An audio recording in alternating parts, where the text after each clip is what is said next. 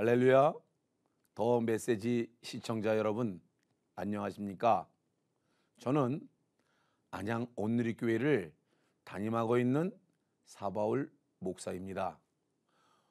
오늘은 고집이 우상숭배라는 제목으로 함께 은혜를 나누도록 하겠습니다.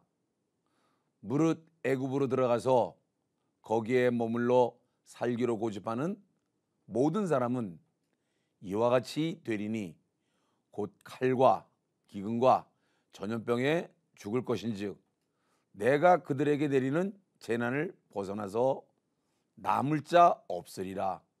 에레미야 42장 17절 말씀입니다. 또 다만 내 고집과 회개치 아니한 마음을 따라 진노의 날 곧 하나님의 의로우신 판단이 나타나는 그날에 이말 진노를 내게 쌓는도다. 로마서 2장 5절의 말씀입니다. 또 이는 거역하는 것은 점치는 죄와 같고 완고한 것은 사신 우상에게 절하는 죄와 같음이라. 사무엘상 15장 23절 말씀입니다. 자, 고집. 또 우리가 완고함이라고 표현될 수 있는 이 말. 마음속에는 주님이 있다고는 하나 아, 우리가 살아온 날들의 그 경험에 익숙해진 탓에 자기도 모르게 먼저 우리 자신의 생각을 말하고 또 그것이 맞다고 강하게 주장하고 또 양보도 없습니다. 이것은 본문 말씀처럼 우상숭배인 것입니다. 자, 그럼에도 불구하고 우리는 고집이 있다고 생각을 안 하기도 하고 또 하지도 못합니다.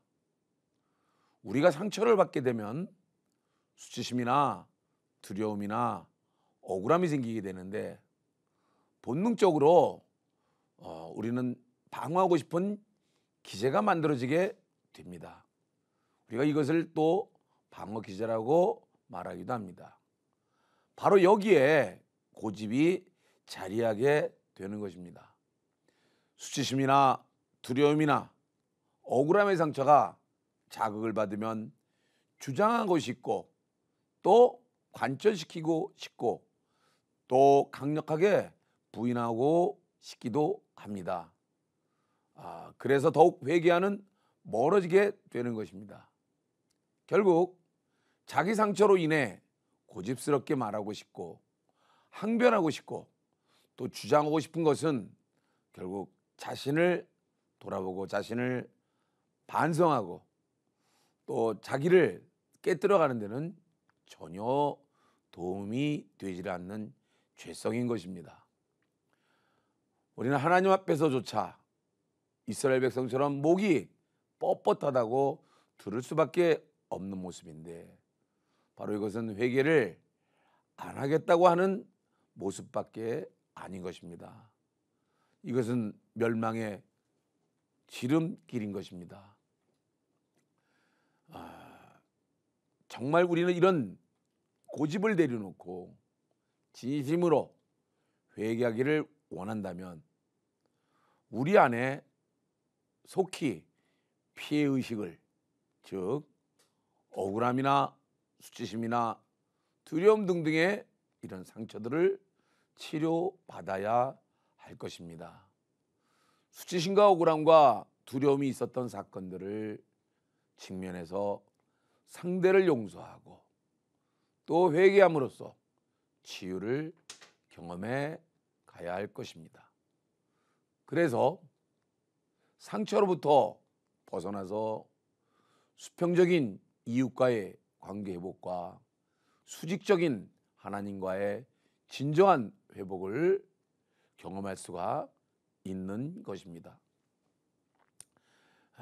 나의 상처와 죄성의 삶으로 익숙해진 내 신념의 프레임에 사로잡혀서 내가 옳다고 나만이 옳다고 주장해온 내 속을 내 안을 들여다보고 알아채리면서 회개해야만 될 것입니다. 지금까지 살아온 나의 신념이 곧 하나님과 배치되는 자기 우상의 신념이 될 수 있음을 알아보고 주님께 진심으로 기도하며 물어보는 시간을 가졌으면 좋겠습니다. 그렇게 해서 저와 여러분의 삶이 하나님 앞에 큰 축복이 될 줄로 믿습니다. 지금까지 더 메시지 사벌 목사였습니다.